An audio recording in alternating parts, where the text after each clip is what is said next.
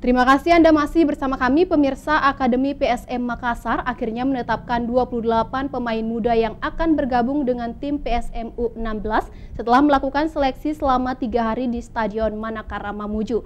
Nantinya ke-28 pemain muda ini akan dipersiapkan untuk mengikuti Liga Elite 1 Pro Akademi U16.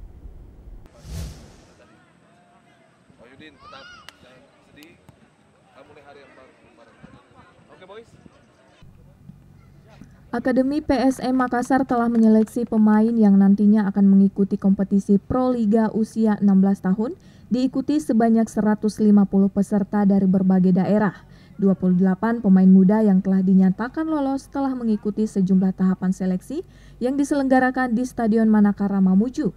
28 pemain muda yang lolos seleksi berasal dari Mamuju, Palu dua orang, Jawa Timur satu orang, Makassar, serta Enrekang.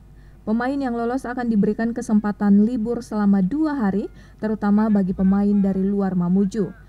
Terutama bagi pemain dari luar Mamuju yang pulang ke daerahnya masing-masing untuk melengkapi berkas yang masih diperlukan. Sebelum menetapkan 28 pemain, rencana awal tim PSM hanya menyeleksi 25 orang. Namun setelah perundingan tim pelatih, akhirnya ditetapkan 28 pemain muda. Bahkan Irfan Rahmat, pelatih kepala Akademi PSM mengatakan masih membutuhkan dua pemain lagi di posisi striker dan berharap kebutuhan penyerang tersebut bisa dipenuhi sebelum kick off di Liga Elite 1 Pro Akademi usia 16. Pemain yang kita rekrut 28 pemain, seharusnya 25. Kita ambil 28 pemain untuk uh, mengarungi Liga Liga 1 pada tanggal 28 yang hasilnya sudah sudah sudah ada 20 poin.